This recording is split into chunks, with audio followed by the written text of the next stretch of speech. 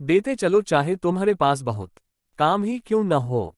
अपनी बुराई करने वाले को अपने पास रखो। और उससे सीखो तुम एक अद्वितीय।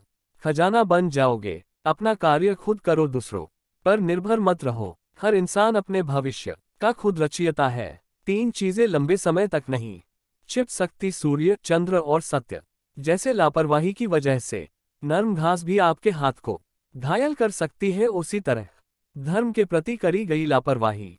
आपको नर्क के द्वार पर पहुँचा सकती है। उसने मेरा अपमान किया उसने।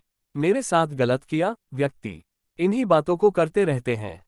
वह कभी जीवन में चैन से नहीं रह सकते जिन लोगों ने अपने को इन बातों से ऊपर उठा लिया। है वही आराम से जीवन जी सकते हैं। बुराइयों से दूर रहने का एक ही तरीका है अच्छे विचारों को अपने जीवन में आने दीजिए। मूर्ख ज्ञानियों से भी नहीं सीख पाते और ज्ञानी मूर्ख से भी सीख लेते हैं। जिन तरह तूफ़ान एक बड़े पत्थर को नहीं हिला पाता उसी तरह। शांत व्यक्ति को मान अपमान नहीं हिला पाते। विचारों में बहुत ताकत है तुम। जैसा सोचते हो वैसे ही बन जाते हो। अपने बराबर या अपने से समझदार। लोगों के साथ सफ़र कीजिए अपने से काम समझदार लोगों के साथ। सफ़र करने से अच्छा है अकेले सफ़र कीजिए। यदि आप किसी और के मार्ग में प्रकाशित करते हो तो अपने आप, आपका रास्ता प्रकाश से भर जाता है। खुश रहना ही एक रास्ता है खुशी पाने का। जिस तरह एक मोमबत्ती से अनेक मोमबत्ती जलाई जा सकती है इससे, मोमबत्ती का जीवन काम नहीं होता। उसी तरह खुशी बांटने से काम नहीं होती। शांति देने वाला एक शब्द एक, हज़ार खोखले शब्दों से बेहतर है। हर वह चीज़ जहर है जो आवश्यकता से अधिक है, फिर चाहे वह धन हो, भूख हो या फिर ताकत।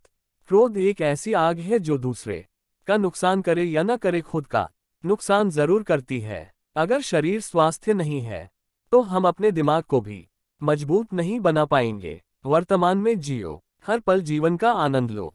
जीवन वह नहीं है जो हमें मिला, है जीवन वह है जो हम बनाते हैं।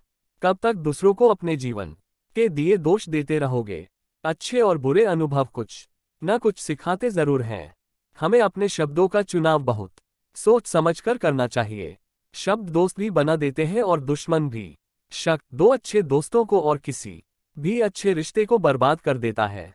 संतोष सबसे बड़ा धन है स्वास्थ्य, सबसे बड़ा उपहार है और वफादारी, सबसे बड़ा संबंध है। यदि आप सच में अपने आप से प्रेम करते हैं तो आप किसी को और कोई आपको डैख नहीं पहुँचा सकता। जीवन की सबसे बड़ी विफलता है हमारा असत्यवादी होना, जो दूसरों से ईर्ष्या करते हैं उनको कभी शांति नहीं मिल सकती। आपके पास जो कुछ भी है उसे दूसरों को बड़ा चढ़ाकर मत बताइए। न ही दूसरों से ईर्ष्या कीजिए। बुरे दोस्तों से, जंगली जानवरों से।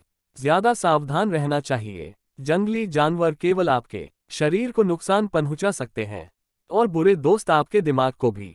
गुजरा हुआ वक्त कभी वापस नहीं आता। लक्ष्य तक पहुँचने से ज़्यादा महत्वपूर्ण यात्रा अच्छे से करना होता है। सभी गलत कार्य मन से ही उपजते हैं, अगर मन परिवर्तित हो जाए तो क्या गलत कार्य रह सकता है? मैं ये कभी नहीं देखता कि क्या किया जा चुका है, मैं हमेशा देखता हूँ कि क्या किया जाना बाकी है। जो नाराज़गी युक्त विचारों से मुक्त रहते हैं, वही शांति पाते हैं।